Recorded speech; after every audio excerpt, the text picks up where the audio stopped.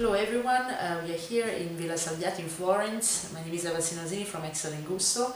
Um, so the, um, we are talking about uh, the open doors of Villa Salviati, which is the last day of the State of the Union uh, event. It's an annual event organized by European University Institute. Uh, so for the open doors of Villa Salviati, the European University um, has organized a series of activities for kids and adults, um, shows, theater, um, and also actually Gusto organize um, Piazza Sapori tasting for everybody to taste the best foods Italy has to offer. So Villa Salviati um, is home of the historical archives of European Union and I'm pleased this morning to be with uh, uh, Dieter Schlenker, the director of um, the Historical Archives of European Union. So Dieter, um, so um, what does um, the Open Doors of Villa Salviati celebrate? Mm -hmm.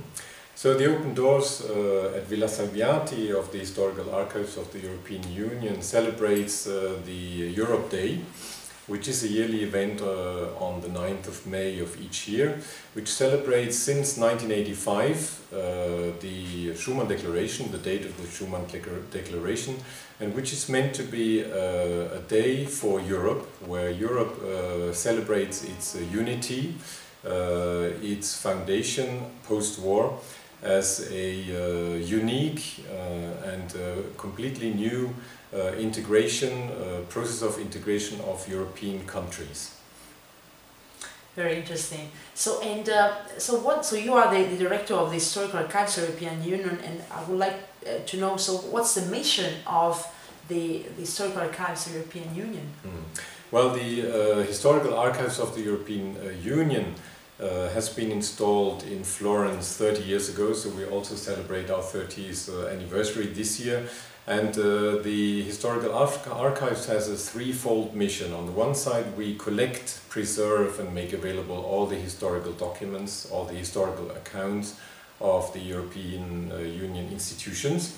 So just to name a few, the European Parliament, the European Commission, the Council of the uh, Ministers of the EU.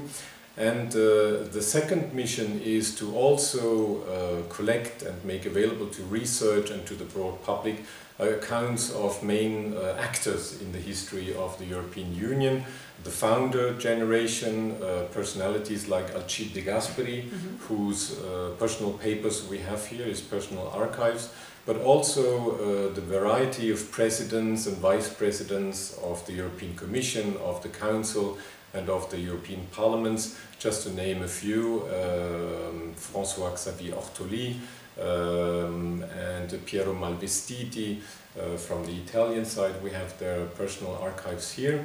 Um, and we conserve them and make them available for research. Now the third element, and here, there we come back to the open day, mm -hmm. is in fact to raise the visibility of uh, historical archives, of archives as memory, as heritage of our European community and of, uh, as heritage of this integration process which is uh, unique in the history of Europe which was meant to overcome war and uh, segregation through a uh, unification process which is completely new in Europe in its uh, history.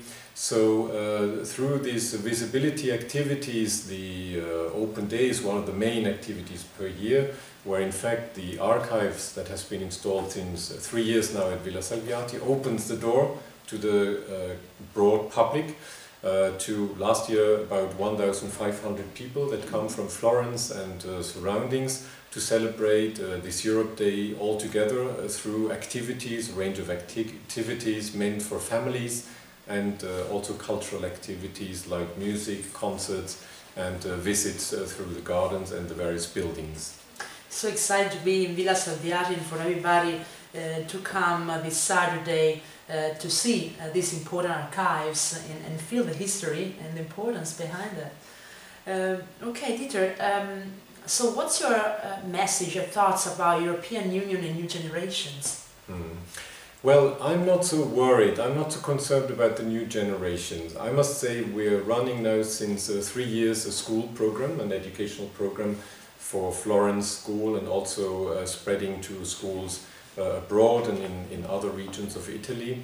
And so we're always touching on the hot topics. Uh, this year we've been debating, so we invite schools to come here and we have a debate with them, kind of a European Parliament debate. Mhm. And uh, we discuss with them the hot topics. This year it was the Schengen Treaty, the, the precious, very precious Schengen Treaty, which is a relief and uh, for all citizens to be able to travel, uh, travel freely within, within Europe.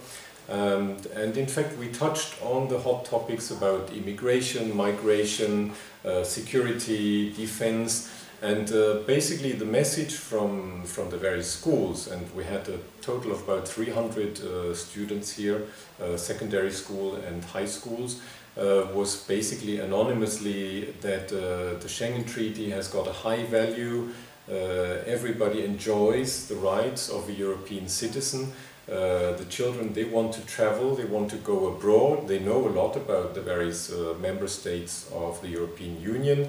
They are curious and they are open. So i'm not so worried uh, on that end about the youth uh, in, in terms of european union because i think they're very they're very active they are very positive and very enthusiastic uh, about this union so i see that very very well Perfect. So, yeah, get to know each other to be a union. That's uh, important, very important, and that's what uh, we are trying to do on the 7th of May. So, uh, so wish you the best for uh, the open doors of Villa Salviati, and thank you to host us here. Thank you for this interview and uh, well, happy open day at Villa Salviati on the 7th of May. Thank you. Thank you. Bye.